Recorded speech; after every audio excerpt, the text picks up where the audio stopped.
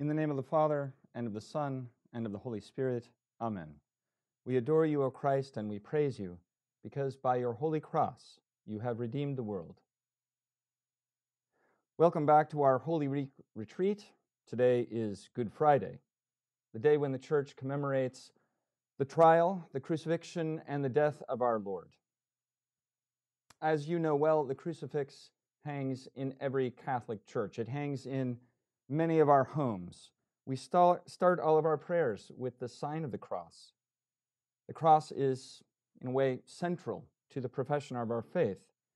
Our faith is in a faith is a faith in the power of the cross of Christ. So, what do we celebrate on this day? This day which we call good, but which commemorates what seems to be a very great evil. Historically speaking, of course, we profess that Jesus was crucified and died outside of the walls of Jerusalem in Palestine some 2,000 years ago. And that this was not merely the death of a man, because Jesus Christ, while true man, is also truly God. This was the death of the Son of God in his human nature. Now, at Christmas, we celebrate the wonderful mystery of the incarnation that the Son of God, the eternal Word of the Father, entered this world and joined a human nature to himself. He assumed a human nature without ceasing to be God. He became one of us. He came out of love for us. He came to be our friend, to live with us. But when we come to Good Friday, one might think that this amazing truth that God has come into our world to be with us has taken a very bad turn. God with us is now rejected, rejected by his own people. And not just rejected, but insulted and spat upon and beaten scourged, humiliated, tortured, and put to death on a cross. In a certain sense, then, the cross on Good Friday presents us with an even deeper mystery than the creche at Christmas. It's the mystery that the most innocent man could be wrongly condemned, the mystery that we human beings could reject God Himself. And for the theologian, I think for every Christian, we should also marvel that somehow the eternal Son of God is able to die in his human nature, that he would take even this humiliation on himself. That's a very deep mystery indeed. Why was Jesus killed? Well, we could start by pointing at the Roman soldiers. They're the ones who actually carried out the execution. They received their orders, they carried them out with a kind of deadly efficiency. But we also know from the Gospels that they didn't do this just like any other job that they were given. The Gospels tell us that the soldiers tortured and mocked him before they killed him. They were cruel to him. Then we might think of the high priests, the Sanhedrin, the other leaders of the people in Jerusalem. They accused Jesus of blasphemy for claiming to make himself the Son of God. We could think of Pontius Pilate. He judged Jesus in a trial, he judged him to be innocent, and then sentenced him to death anyways. We could think of the crowds who cried out, Crucify him. We could think of Judas, one of his 12 apostles, a man Jesus had personally called to be one of the pillars of the kingdom of God that Jesus was establishing, and who betrayed him for money. We could think even of the other apostles who fled at Jesus' arrest, or of Peter, who denied him three times. In a certain sense, all of these figures, figures from the past, are responsible, or we could say had some role in the death of Jesus. But it would be a big mistake if, after talking about all of these historical figures, we were to just stop there and leave this in the past. Isn't it true to say that Jesus died for sinners? I mean, that's the heart of the gospel. And if sinners are the cause of his death on the cross, then the list of the guilty is very long indeed. And of course, that list includes you and me. Jesus was weighed down as he carried his cross not only by a wooden beam, but by your sins, by my sins. Now, that's a very good reason for us to detest our sins and meditating on the passion of Christ, meditating on the sufferings that he went through for us. This is a very good incentive to repent of our sins, to confess them, to do our best to make some reparation for them, to express our sorrow to God for them, to do penance for them. Today is a very good day for that. The Universal Church does penance today. We fast on this day of commemorating the Lord's crucifixion. And I hope that you are doing some penance. I hope that that penance is helping you raise your mind to God. That's what it's meant for. And to express your sorrow for your sins, to try and do something to signal how sorry you are and to make up for them. But Jesus did not only die, in a certain sense, because of sins, he died also because of love, because of his love for you. And that love was the source of a kind of spiritual suffering that he underwent during his passion. That's also helpful to us to remember because spiritual realities are always greater than physical realities. And so, feeling some pain in our bodies, that can be bad. It can be quite bad. But feeling some sorrow in our soul, that can sometimes be worse. Where does spiritual suffering come from?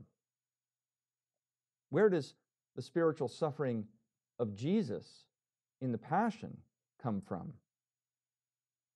Well, it comes from his knowledge of our sins, of our betrayals, of our infidelities. And more than that, it comes from his love for us. You see, Jesus, he knew the Father perfectly. He saw the Father's face, you could say.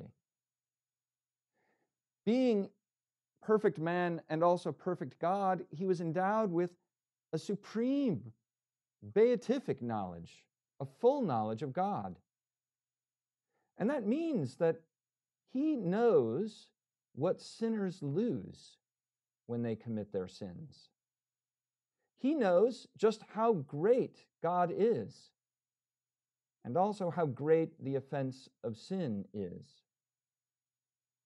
So Jesus is more aware of the gravity of our sins than we are. Sin has the peculiar feature that it, it deadens us, it numbs us to the reality of the evil that we're doing. And the longer we commit a sin, the more typically we are apt to say, Ah, that's not a big deal. But Jesus sees just how big a deal it is. He sees what it means to lose God, who is infinitely good and the only way for us to be happy. Now, Jesus, he sees us losing God by our sins, and he loves us very much. He loves us more than we can possibly imagine. And one feature of love is that it makes us regard the one we love as, in a way, another self. You can see this in a human family. A mother who's just given birth to a baby will bring the baby home, and of course, it's wonderful to have the baby, and then the baby begins to cry at night and wake the mother up. Does she wish that the baby would just continue to suffer so that she could get some sleep? No. She wants to comfort her child, even though it's not doing much for her at that moment, because she regards the good of her child simply as her good. That's what love does for us. We begin to regard those we love as so associated with us that we see their loss in a certain way as ours. Jesus had the most perfect love, the most perfect love for God, and the most perfect love for us. But let's not make it generic, let's make it personal because it is personal. It's absolutely theologically true. Jesus has the most perfect love for you. And so, when he went to the cross, he knew you. And he loved you. Now, he also knew your sins. And he knew what they would mean. What they would mean for you, for others, for the whole world, because our sins always affect not only ourselves, but in fact, they ripple out to affect everyone. Jesus knew these things. And because he saw what leaving you and me and the whole world in sin would mean, he chose the humiliation of the cross. He chose to be mocked and scourged and spat upon and crucified because he loved you, because he did not want you to be lost. And so, if we ask why Jesus was killed, in a certain sense, this is the ultimate answer. It was out of love.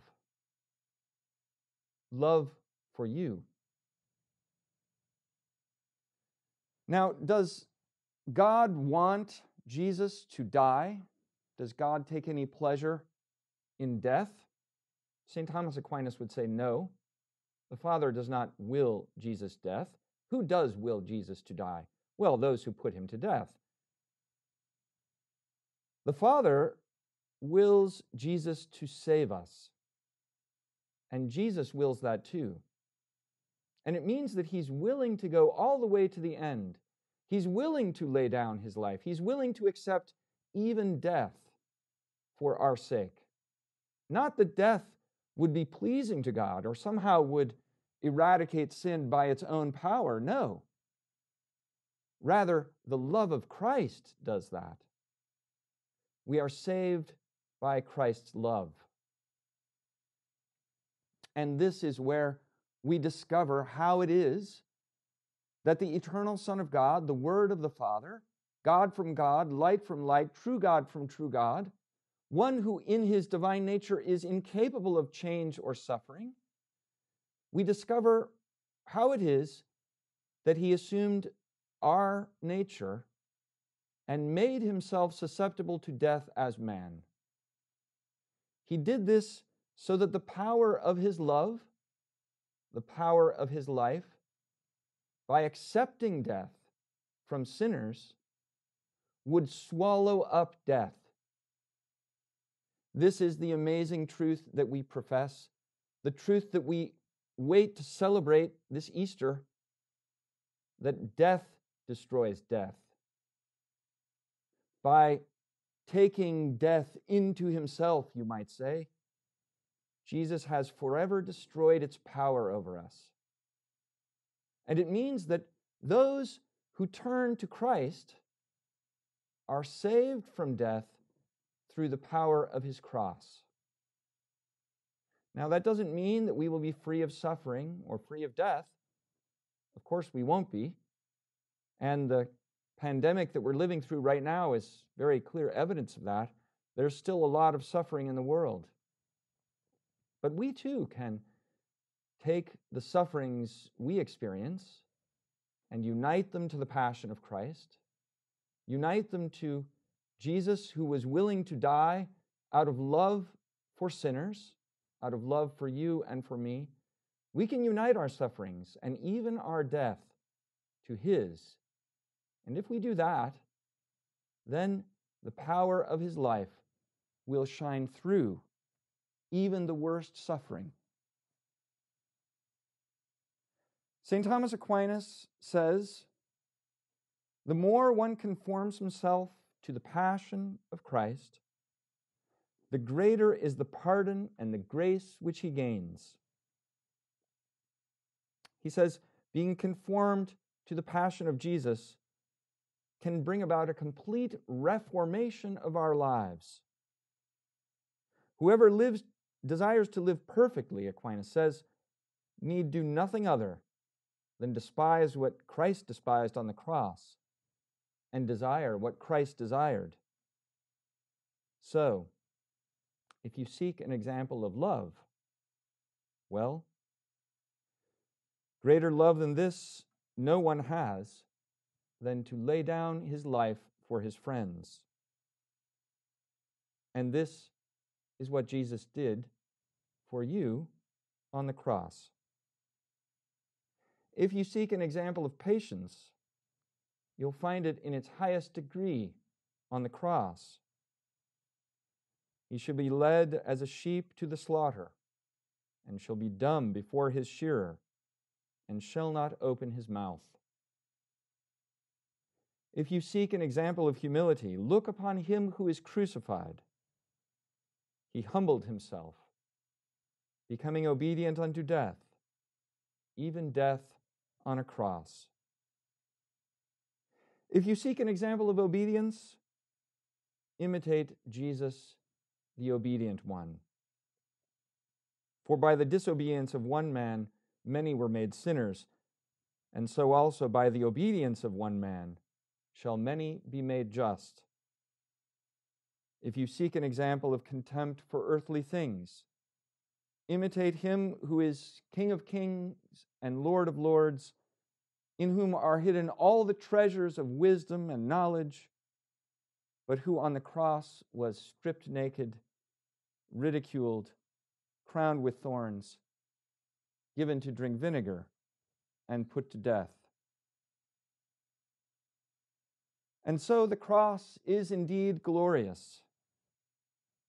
It is the scepter of Christ the King, the trophy of Christ the victor, the light of teaching of Christ our teacher. Jesus thirsts on the cross.